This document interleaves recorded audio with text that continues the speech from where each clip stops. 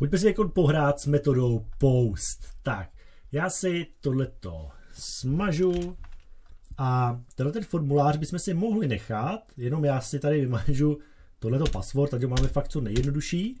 Opět, eh, když ten formulář se odešle, tak ať se odešle opět na get.php, což je tenhle ten soubor, to chceme, ale metod nebude get a bude post. Tohleto video je opravdu jenom opakování toho, co jsme už dělali. Takže, metoda post. OK. No a teď je otázka, dobře, a když jako uděláme metodu post, tak se to zase objeví v té URL adrese. No právě, že metoda post udělá to, že se to tam neobjeví. Jo? Že se to posílá jakoby na pozadí, což je super. Jakoby tajně se to posílá. Takže my si tady můžeme ty ta data, která jsou zase poslaná, jo, takže formulář, až když se to odešle, půjde to do get.php, což je tenhle soubor, OK, takže my si to tady potom můžeme zachytit, až se to na to get.php znova odešle. Metoda je post a tady máme input, který očekává text a jméno jsme dali username, jako uživatelské jméno. Break, enter a tady jsme dávali odesílací tlačítko. To znamená, to je tohle tlačítko. A teď, když dáme odeslat, tak by já bych chtěl, aby se to tady vypsalo. To znamená, zase si dáme to naše is set. Jo?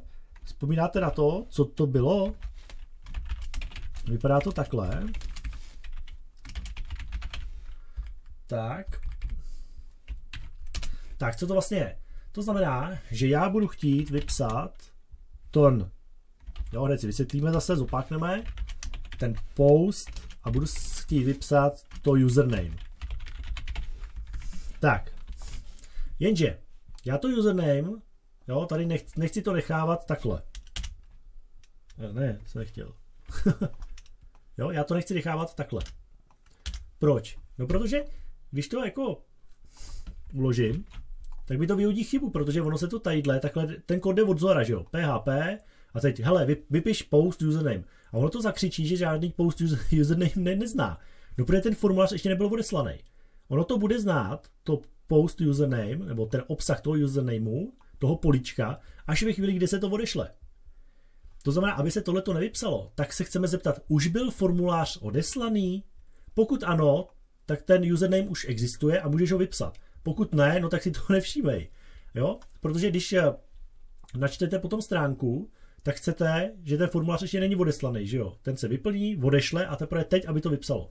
Při načtení stránky nechceme, aby se to pokoušelo něco vypsat.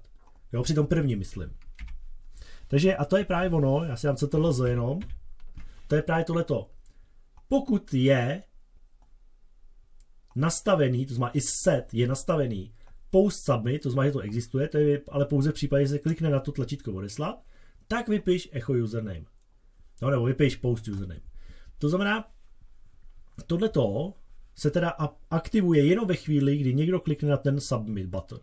Když ne, což je právě ve chvíli, kdy to takhle načtete, počkejte, já to musím uložit, jo, teď jsme to takhle načetli, no tak nechcem, aby se něco vypisovalo, protože ještě není kliknuto na to odeslat, jo, takže ono takhle projde a zjistí, ne, post submit ještě není e, nastavený a tak jde dál, jo, nevšímá si toho.